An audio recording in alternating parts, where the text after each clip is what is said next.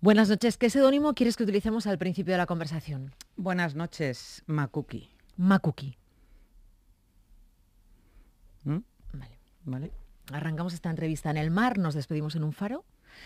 Entonces quiero preguntarte por tu relación con el mar, ¿cómo es? Pues hipnóptica, muy, muy de seducción mutua. Me encanta el mar. Me encanta pescar. Me encanta. Lo que menos me gusta del mar es nadar. Fíjate, ¿eh? qué curioso. Soy muy, muy pato. No, me gusta nadar eh, a lo mejor en una piscina, pero en el mar no tanto, porque nado bastante mal. Pero me encanta pescar y el mar me parece mágico. Me puedo tirar horas y horas y horas y no puedo soportar estar mucho tiempo sin ir al mar. Soy muy ballenita. ¿Qué te dice la gomera? Uf, mucho. Me habla de mi padre y me habla de unos años de mi vida maravillosos, maravillosos, donde casi, casi nos vamos a vivir a Canarias, por La Gomera. Porque eres de Madrid, naces en Madrid. Sí, gata, gatísima, gatísima de tres generaciones, ¿eh? Ojo, ojo al manojo, que no hay mucha gente como yo. ¿No? No. Así de tres generaciones de Es difícil, madrileños. sí. A ver, tú dime cuántos pasan por aquí que sean gatos de verdad. Bueno, tampoco es que sean la leche, pero bueno, Tres generaciones igual eres la primera. ya ves. Sí. Una vez leí en el país que, pero hace mucho tiempo, ¿eh? que había solo como 500.000 madrileños de más de dos generaciones. O sea que yo debo ser ya una rara avis de Madrid. O sea, ¿que le debes a tu padre tu amor por Canarias? Sí, sí. eh, él me descubrió, es que a- en aquellos años además Canarias era muy desconocida en la península. Y era, bueno, mi padre trabajaba allí y iba y venía. Y era como Papá Noel cada vez que iba a Canarias porque nos traía las Raiban, los no sé qué, el tabaco, tal. Bueno, tabaco para sus amigos porque todos éramos muy pequeños.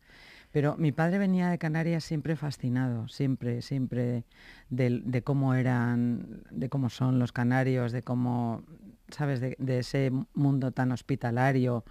Y mira que allí se puso muy malo porque cogió unas fiebres tifoideas y tal, bueno, pues un rollo que no tiene nada que ver, pero lo contrajo allí, pero mi padre le fascinaba Canarias. Y entonces le dijo a mi madre, Maruja, mi madre se llama María, pero en la familia llaman Maruja, creo que nos vamos a ir a vivir a Canarias. Fíjate. Y mi madre dijo, mira Eduardo, yo no me voy a ir a vivir a un, sitio, a, a una ciudad o a una isla donde no haya corte inglés. Te lo juro. Porque entonces no había el corte entonces no inglés. había corte inglés, Y claro. mi madre era una fanática del corte inglés. ¿Qué te parece? no, pero es verdad. De, de verdad que es que todos nos enamoramos de Canarias en casa. Mm, Y, y la única isla que no he podido visitar es, es La Gomera. Es la gomera. Sí, pero porque no se me ha cerrado una cicatriz con el tema de mi padre, porque mi padre fue el constructor del parador de La Gomera. Eso es. Y, y entonces pues iba allí constantemente con una falúa que se llaman las barquitas que van, que va, que van- bueno, pues la- los pequeños barcos pesqueros y tal, entonces no había ferries, ni había, o sea, La Gomera era una isla inhóspita y mi padre hablaba del paraíso, ¿no? Eh, ¿Te puedes creer que todavía no he conseguido ir a ese parador? Ah, eh, Yo creo que ya eso ha, ha cicatrizado, pero he estado en todas las islas menos en La Gomera. Fíjate, ¿eh? Pues esto hay que curarlo. Con tiempo, pero hay que curarlo. También le debes tu pasión por el deporte. Sí, mi padre era muy futbolero, era, él fue también corredor, le gustaba correr, tenía, ¿sabes? Él decía que tenía tobillos de jilguero y tenía unas piernas muy bonitas. Y, y es verdad, en casa siempre hemos sido todos muy deportistas, mis hermanos también, muy futboleros. Lo que pasa es que mi padre me enseñó a amar el fútbol mm, desapasionadamente, o sea, no era de estos que estaba viendo un partido de fútbol y tiraba el cenicero como mis hermanos porque les habían marcado un gol o tal y, "Ah, venga", tal, y gritos. No, mi padre nunca chillaba, era un señor muy templado y siempre veía el fútbol con un pensamiento crítico y siempre razonando las cosas, que a mí me parecía surrealista. Era muy del Real Madrid, evidentemente, lo tengo que decir, y me llevaba, o sea, yo he visto a Johan Cruyff en el Bernabéu, me llevaba con el bocata de chorizo y el papel albal al fútbol, de chiquitita. Y eso me fascinaba, ir con mi padre al fútbol, es que era tan mágico. De tus amigas, ¿quiénes más iban al fútbol con su padre de pequeñas? Pues yo creo que Elena, Elena Sánchez, yo creo que también eh, su padre también, además vivían muy cerca del Bernabéu, yo creo que también iba mucho.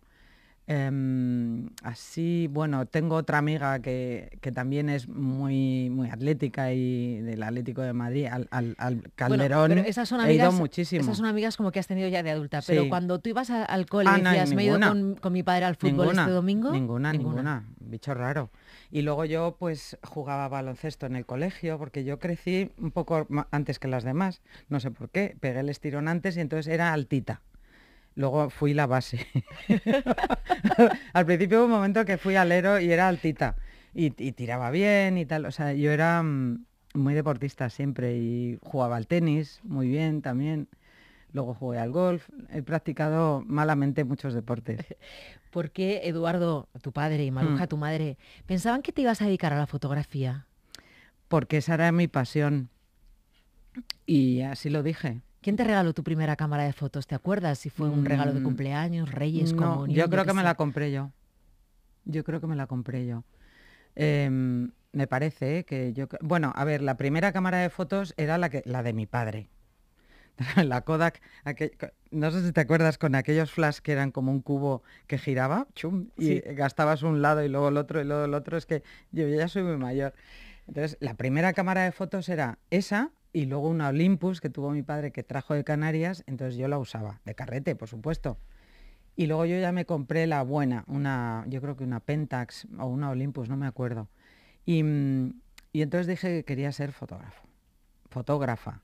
Y me dijeron mis padres, es que, fotógrafa solo, ¿y por qué no te haces periodista? Y dije, bueno, porque a mí me gusta la imagen.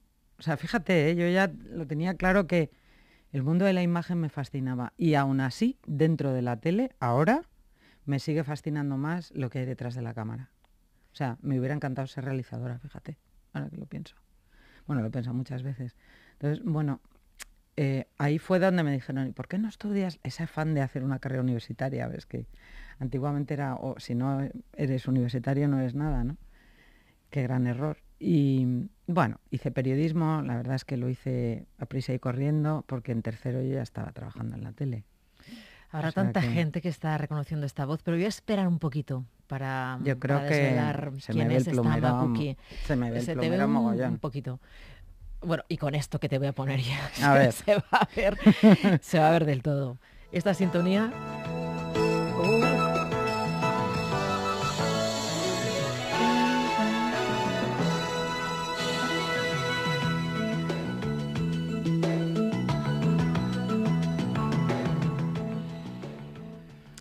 ¿Tú crees que la gente que nos está oyendo se acuerdan de esto?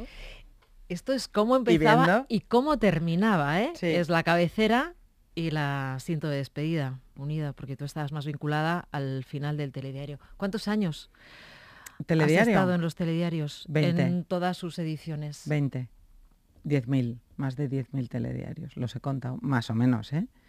Pero 20 años ininterrumpidos, en todas las ediciones, que no sé si ha habido alguien que ha presentado todos, porque yo he presentado el matinal, fin de semana, el TD3, ojo, que antes había un TD3, que debuté con Rosa María Mateo, imagínate dónde va la cosa, TD1, TD2, todos. Es verdad que Rosa María Mateo te dijo un día, he visto a mucha gente hmm. delante de la cámara, pero lo que veo en ti no lo he visto en nadie y te advierto del peligro de la fama del peligro, no sé qué dijo, sí, ¿no? Sí, de la Me lo dijo tal cual. Es decir, yo debuté un día eh, después de Rosa María Mateo, con lo cual era pánico escénico total, porque es que era, ella era la reina de la televisión. Yo cuando la vi por el pasillo, pues de esto que te impresiona, ¿no?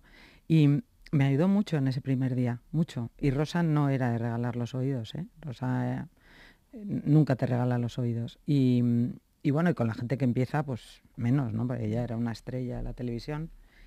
Y ese día me, mostró mucho cariño, se quedó todo el tiempo allí, aunque yo empecé el deporte, ya se, ya se podía haber ido porque terminó su telediario y se quedó. Y bueno, fue un gesto de apoyo, ¿no? Y a los dos, tres días, por el pasillo, pues un día se acerca y me dice, oye, María, ven, ven un momento, niña, ven. Y me dice, eso, lo que has dicho tú, ¿no? He visto mucha... Llevo 20 años viendo a gente empezar, eh, comenzar sus primeros pasos y tal. Y tú tienes algo especial. Y entonces me dijo, tú algún día presentarás telediarios. Y no me hice pis de, milagro, allí mismo. Y entonces le dije, venga Rosa, hombre, no me digas eso. Y me dice, sí, pero ten mucho cuidado, ten mucho cuidado porque puedes levantar los pies del suelo, porque esta profesión es muy traicionera y te vas a creer lo que no eres. Entonces no, te van a regalar mucho los oídos, la popularidad te puede cambiar mucho la vida. O sea, me, me, hizo un diagnóstico de lo que luego podía pasar y pasó. En este caso no pasó porque yo siempre he tenido los pies muy pegados a la tierra. Cuando volvía a estar con Rosa María Mateo, ahora cuando fue administradora única de Radio Televisión Española, ella se acordaba perfectamente de aquello. Perfectamente. ¿Tú dirías que le hiciste caso? Eh, y si fue así, que es lo que, lo que parece que estás diciendo, ¿quién te ayudó en todo este tiempo a tener pegados los pies al suelo o a no dejar que ese despegue te afectara? Mucha gente. Primero yo porque, bueno, porque me parecía que esto era todo muy ficticio, muy irreal, ¿no?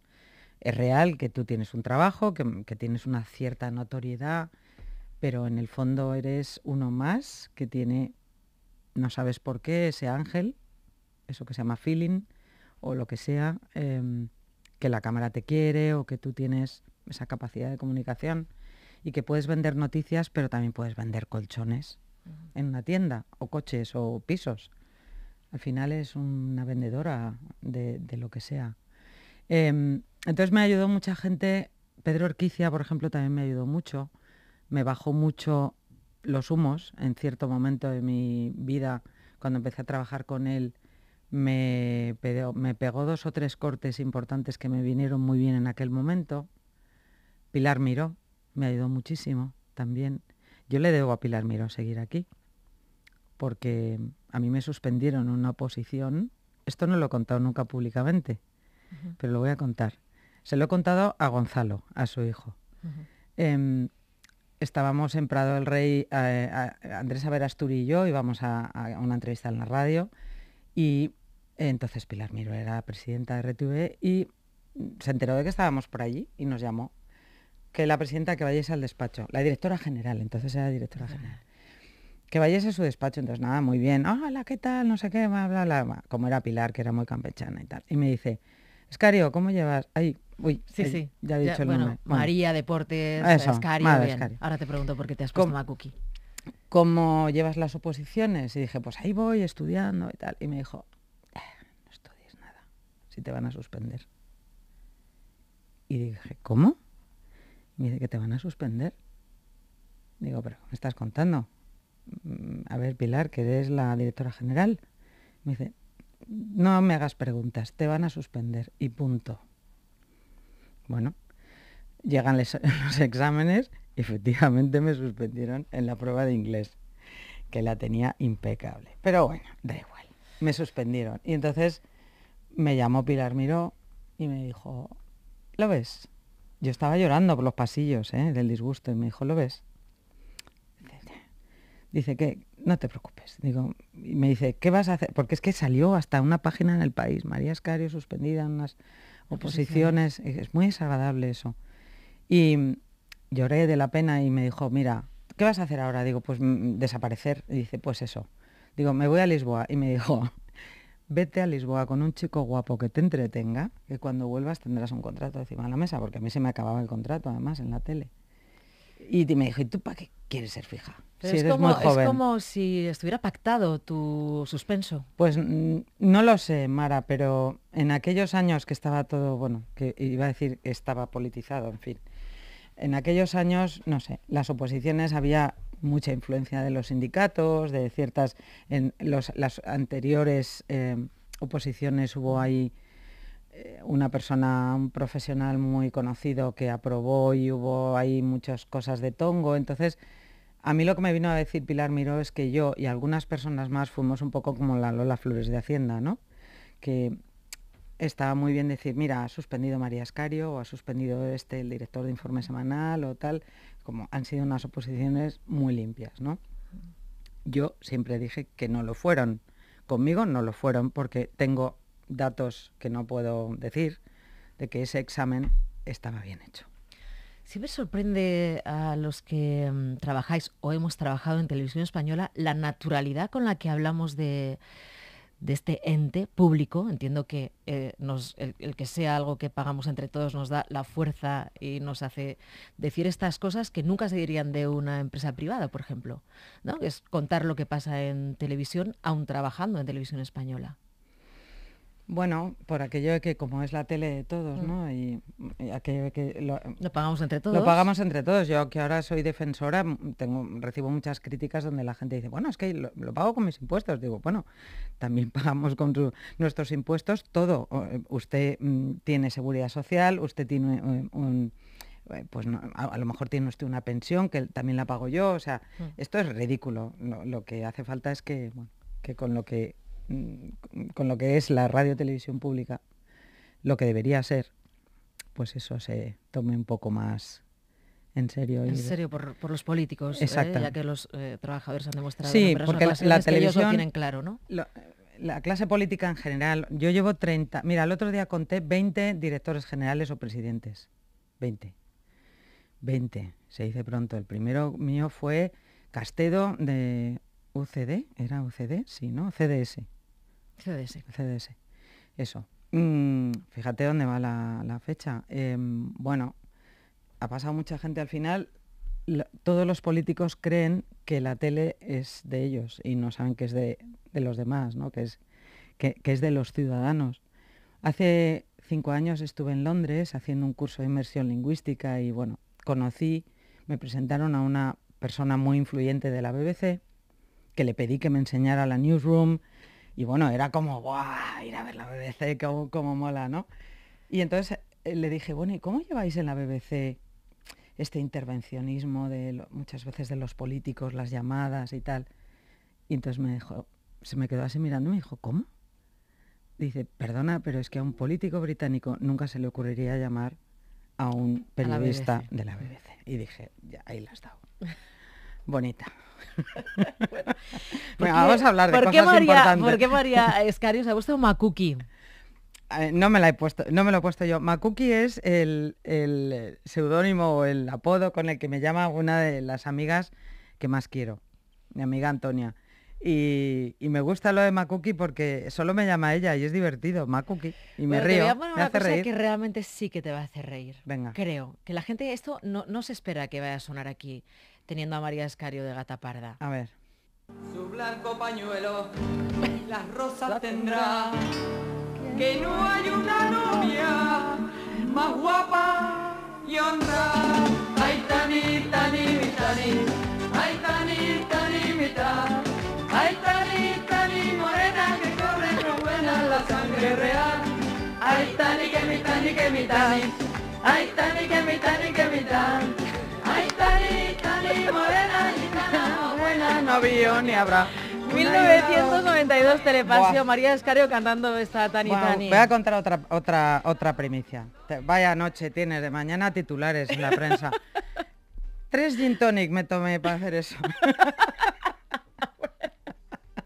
me dice, me dice un ayudante de producción, hola, me llamo, no sé, Giovanna, era como rumana estoy ayudante de producción y estoy aquí para ayudarte en todo, lo que necesites. ¿Necesitas algo? Digo, sí, un gin tonic.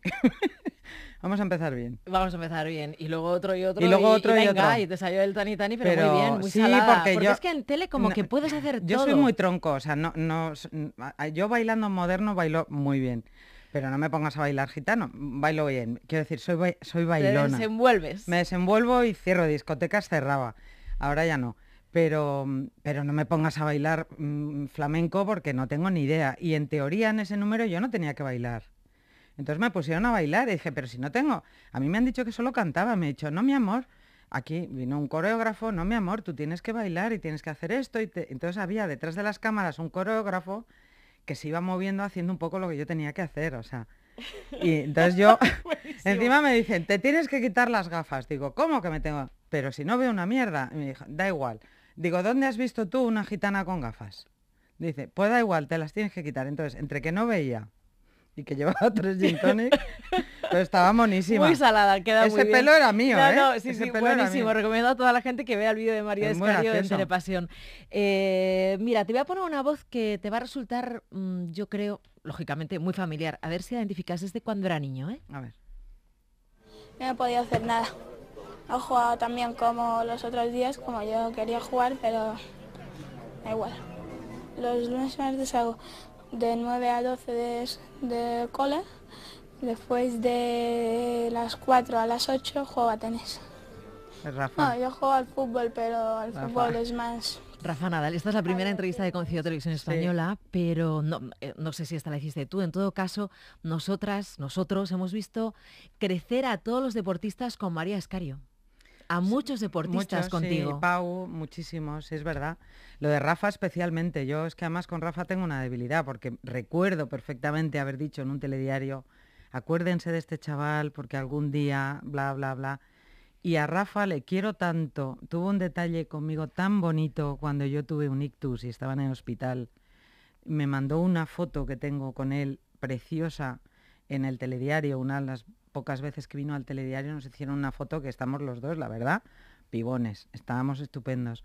Y entonces el tío me mandó al hospital una esa foto firmada en grande y lloré tanto, bueno, es que es, ese es un tío estupendo. Cuando tuviste el ictus, año 2012, mm, te sentiste muy reconfortada por el cariño que te demostró la gente. No, no esperabas que fuera tan Mm, abrumador. No, no, para nada. Y fue muy terapéutico, mm, porque en aquel momento el mundo de redes sociales era muy incipiente. Twitter, yo me metí en Twitter, eh, llevaba muy poco tiempo y era muy incipiente y no era la locura que es ahora, ¿no? Ni probablemente era tan tóxico. Hombre, es verdad que leías cosas, ¿no? De que, uy, se ha muerto María Escario y lo leías tú en el hospital, ¿no? Ostras. Ah, sí, te pasó Sí, eso sí, de sí, leer en el claro. hospital, se ha, por- se ha muerto María Bueno, Escario. y amenazas también de muerte que tuve cuando salí de algún pirao. Bueno, tuve que denunciarlo en la policía, pero a ver, yo me quedo con lo bueno, que fue muy terapéutico, que fue los ánimos que recibí de la gente. Bueno, mi habitación era estaba llena de flores, las tuvieron que sacar al, al pasillo porque no se podía ni respirar. Y sobre todo el cariño de personas anónimas que te dicen cosas tan bonitas, de gente que te dice, es que yo me hice periodista por ti, mujeres, jóvenes, o quiero ser periodista como tú, que dices, joder, esto es lo más bonito que te puede decir nadie, ¿no? O sea, que, que, que, que de- yo- tú no pretendes dejar huella en la vida. pero no sé, yo nunca he pensado en eso. Lo único que he querido es hacer bien mi trabajo y ser honesta. Mira, yo soy honesta lavando el coche y haciendo un telediario, ¿sabes? Porque no sé ser de otra manera. Entonces, no sé, a lo mejor eso mm, traspasa, ¿no? Va en tu ADN, Sí. la honestidad. Sí, y a veces, me- me- a veces eso me pasa factura también, ¿eh? No creas, porque poner una barrera es, es estupendo, porque tú mides mucho. Yo eso no lo sé medir. O sea, yo soy así y ya está, ¿no? Entonces, bueno, no sé, me he perdido. Ah, la- sí, lo del, lo del ictus. Ictus. Bueno, efectivamente la gente pues me, me reconfortó mucho, me ayudó mucho a tirar para adelante y me ayudó también a relativizarlo todo mucho, ¿no? Y bueno, fue como un, buf, un tsunami en, en la vida de una persona, ¿no? Que de pronto dices, buf, ¿y ahora qué? Si no me he muerto o no me he quedado fatal, es porque tengo muchas cosas que hacer, seguro.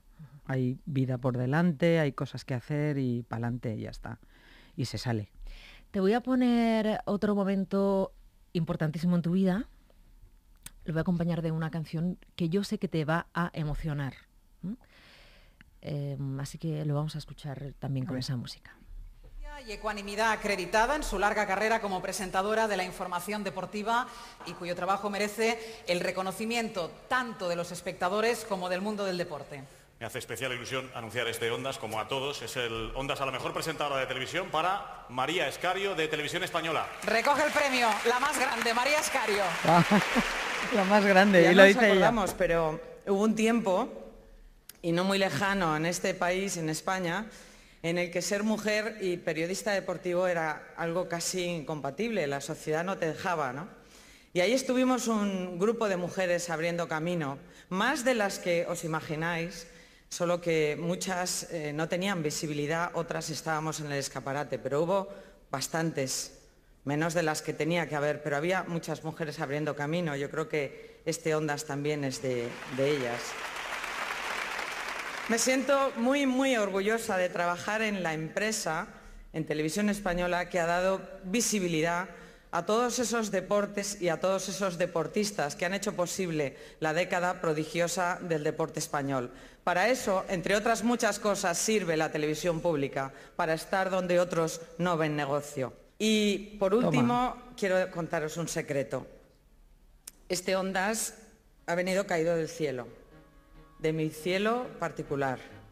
Hay un ángel que anda trasteando por ahí, que es un ángel, que se llama Concha García Campoy y este premio va por ella. Concha.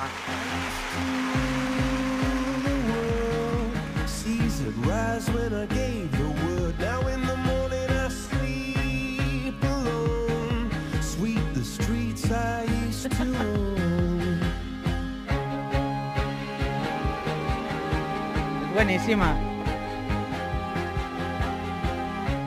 Ahora te explico por qué.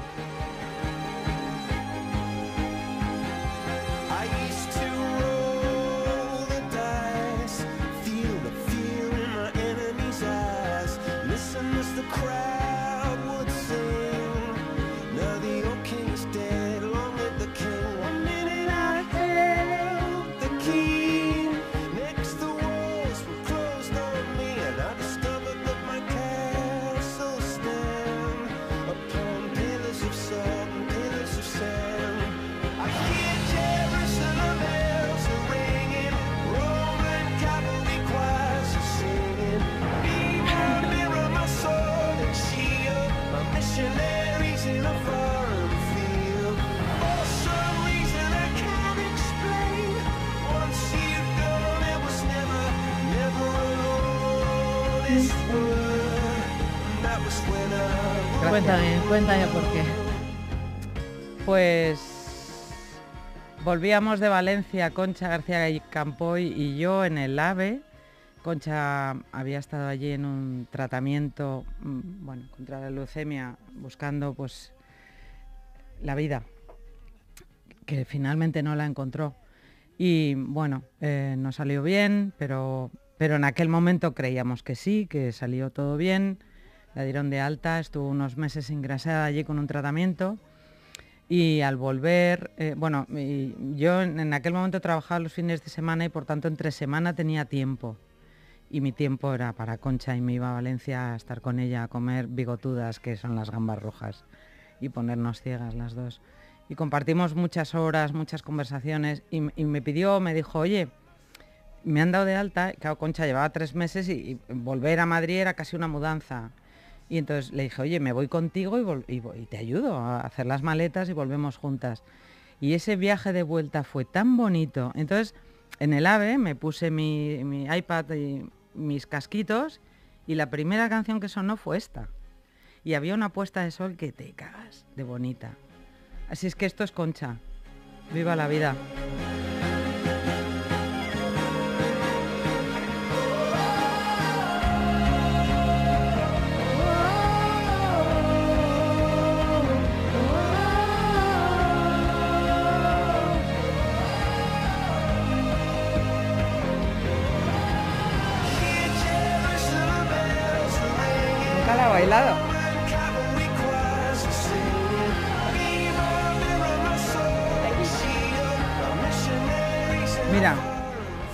Fue otra de las personas que me ayudó también a vivir la, fama con naturalidad, porque ella qué bien la vivió. Qué tía. ¿La echas de menos? Mucho, mucho. Sí, porque era muy buena amiga. Concha, todo el mundo la quería, Concha, y ya sí, encima eras amiga de ella y luego teníamos un grupo de amigas, Concha, Olga Viza, Elena Sánchez, Ángeles Caso y yo. Una bomba aquello. Menudo grupo. Menudo grupo. Mucha gente quería entrar en nuestro Hombre, grupo teníamos cenas y decía, oye, ¿por qué no? Digo, no, perdona, estos no son cenas de lobby, estos son cenas de amigas, tú De aquí no pintas nada.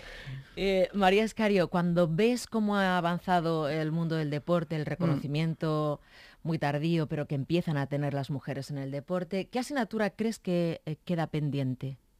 Uf, qué asignatura, qué La, la más importante en este momento.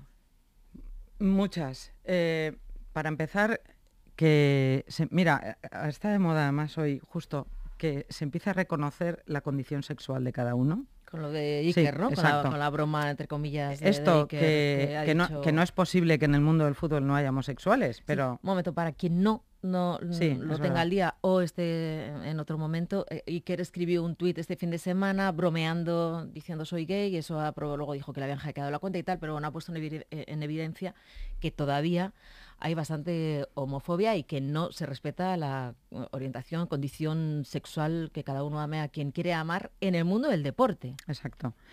Eso, por ejemplo, rompe una barrera ya definitiva, es decir, la igualdad en el deporte no existe mientras no se reconozca también ese tipo de igualdad, que las mujeres han sido mucho más valientes en, ese sentido, reconociendo que, que no se trata de reconocer ni salir del armario ni decir yo con quién me acuesto, con quién me levanto, ¿no? Pero es hablar con naturalidad de lo que eres, ya está. Y no poner barreras ni tabús. Y luego la propia sociedad, que la propia sociedad lo admita, pero ellos son líderes de opinión. Y el mundo del fútbol en esto es muy, muy hermético y lleno de complejos. Estoy segura de que muchos futbolistas tienen miedo y eso hay que romperlo de una vez por todas. ¿Crees que alguno lo hará en el fútbol español, eh? En, en los equipos de fútbol españoles. ¿Crees que alguno, Alguno lo ha hecho, pero sí, yo creo que sí. Lo hará. Yo creo que lo hará.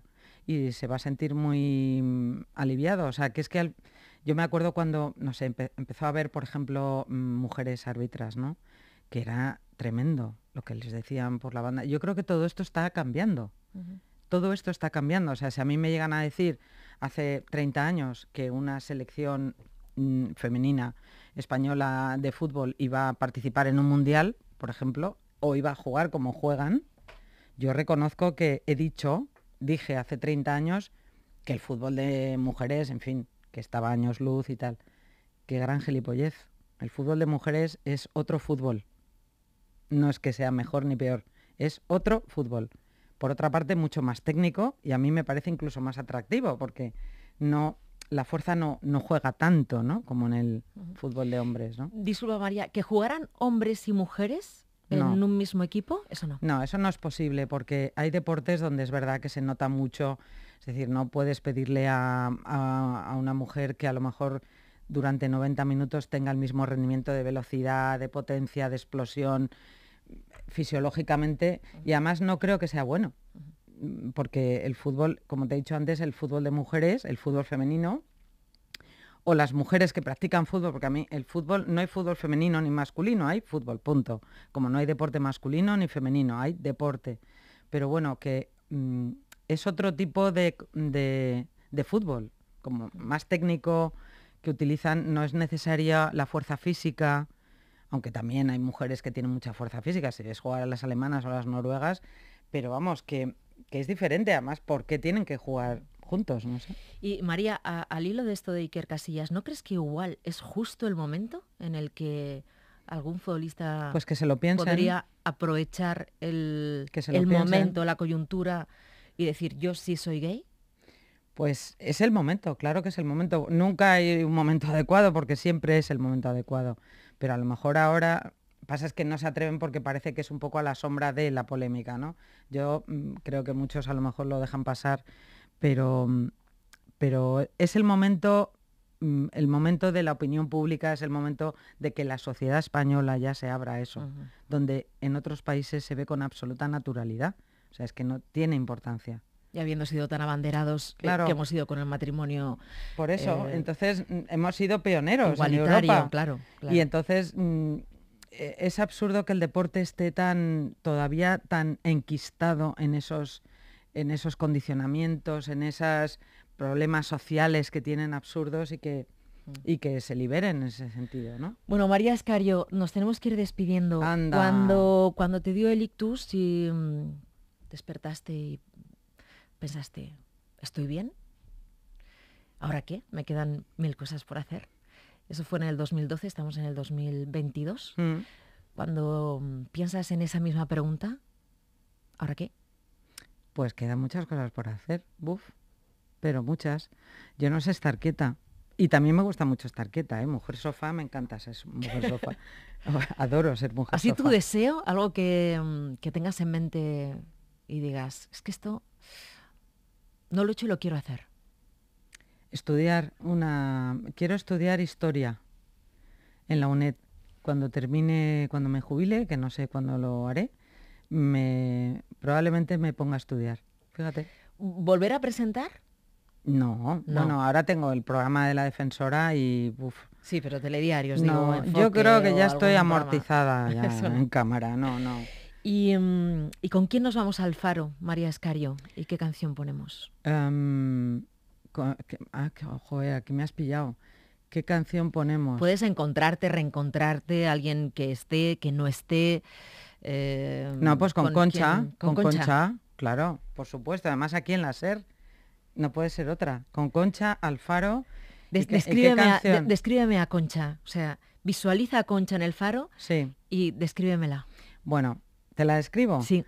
disfrutona, divertida, cachonda, a más no poder, em, muy honesta, muy buena niña, muy buena. Eh, siempre estaba ahí, ¿sabes? Cuando tenías un apretón de estos de, de que te hacía falta un, un cariño, ella siempre estaba ahí, Marieta.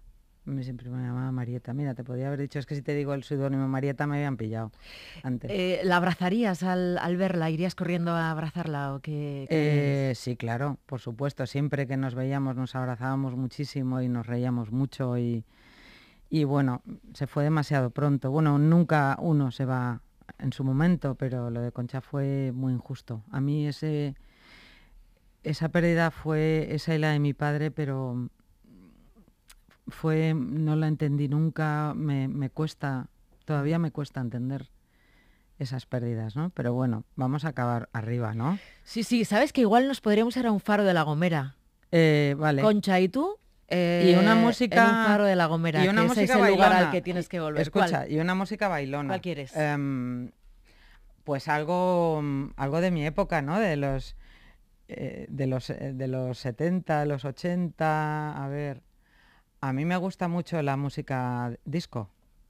¿Vale? Soy muy 70, hortera para 80, a ver, sí. sí. piensa cuál podría ser. La de Edwin and Fire September, por ejemplo. Do you remember? Sí, sí. Ah, A September. mí me Venga, suena a ver. ponemos September. Es Álvaro, ¿no? El que está ahí. Sí. Venga, Álvaro, dale. Mm, Además la escuché precisamente el otro día, esta canción. Qué casualidad. ¿En serio? Sí. Es que a mí siempre me hace, me, me pone mucho esa canción. Y me imagino que en el faro, Aquí la tienes. en el faro bailaríamos con Concha, vamos, seguro. María Escario, muchas gracias, por Gracias haber a ti. sido gata parda y estar aquí Un en esta honor, de conversación. verdad. Te quiero mucho, ¿eh? Porque hemos compartido también muchas horas de tele. Lo sé, yo a ti Y también. también eres muy honesta. Viniendo de ti, la verdad que es un piropazo. Gracias. Vamos a bailar. To